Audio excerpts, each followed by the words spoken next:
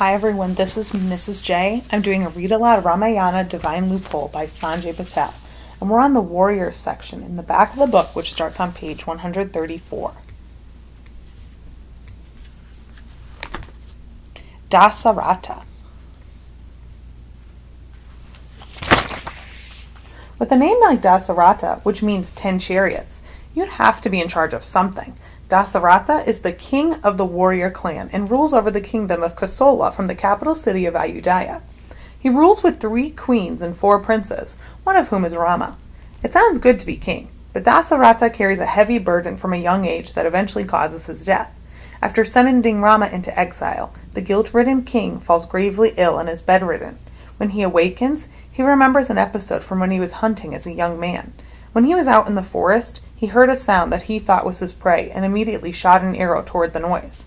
But he was mistaken, and the arrow had struck down a boy named Sharvan, the son of two blind parents. In their grief, the parents spoke a curse upon the king, that some day he too would suffer the fate of losing his dearest son. The memory of the curse brings Dasaratha's demise when he realizes that it has come to pass.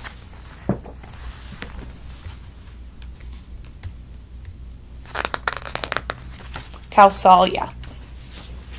The first queen and mother of Rama. So, how does one give birth to an avatar of Vishnu? Well, according to legend, the gods de- delivered a fertility food to King Dar- Dasaratha. The king gave half the nectar to the first queen, Kausalya, while the remaining half was divided between Sumitra and Kaikeyi. It said that since Kausalya ate so much of the nectar, it was her destiny to give birth to Rama.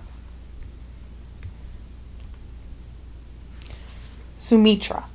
The third queen and mother of twin boys Lakshman and Shatrughna. The gentle queen is the picture of poise and grace and stands for service and charity. Accordingly, Sumitra raises both of her boys to be in service to Rama and Bharata, which is exactly what they do. When Lakshman decides to join Rama in exile, Sumitra is proud knowing that if her son should die, he would do so in service to Rama. Kaikeyi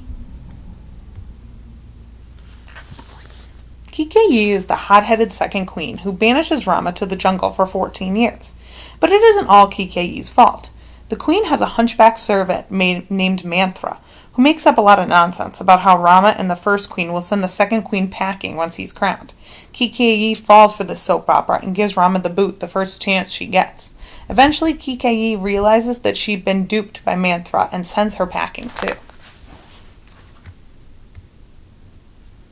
Rama the eldest prince of the capital city of Ayodhya and son of the first queen Kosala. Since Rama is also Vishnu's seventh avatar, the prince is driven by a higher purpose than a desire to be king. Rama's destiny is to rid the world of Ravana and his demon army. To fulfill this mission, the forces of fate conspire to send Rama directly into harm's way. But the Blue Prince proves time and time again that there is no obstacle that he cannot overcome by simply following his divine mission and building bonds with the animals of the jungle.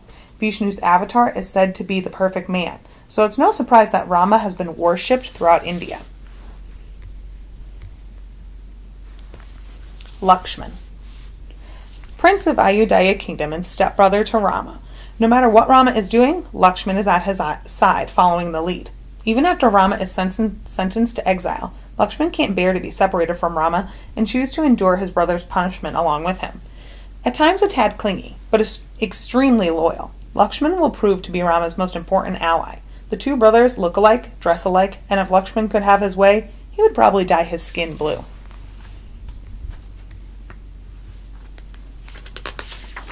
Bharata. Brother of Rama and son of the second queen, Kaikeyi, despite having a mom who exiled a god so her own could, could, could succeed, Bharata does his best to honor Rama by placing Rama's sandals on the throne to wait for the true king's return. He successfully rules as Rama's representative for 14 years. He is so anxious for Rama to come back that he threatens to set himself on fire if Rama is even a day late. Luckily, the prince returns in time and Bharata welcomes him in a fine fashion. Rama intends to make Lakshman his crown prince once he becomes king, but seeing Bharata's devotion, he changes his mind and gives it to him instead. Bharata is seen as a man of unparalleled virtue and devotion.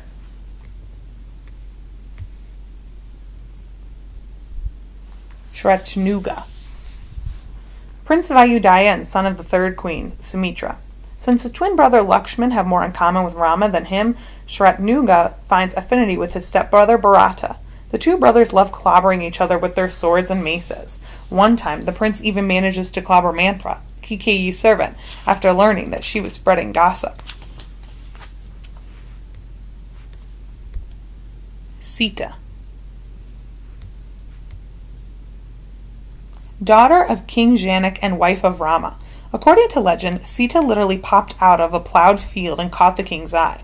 The Earth Child is thought to be one of the avatars of the goddess Lakshmi, who is Vishnu's eternal sweetheart. I guess it makes sense that if Vishnu is going to be reborn as Rama, he's going to have his wife take the form of Sita. But despite her origins, the princess is both blessed and cursed with divine beauty, as it is her radiance that draws both Rama and Ravana into their great war.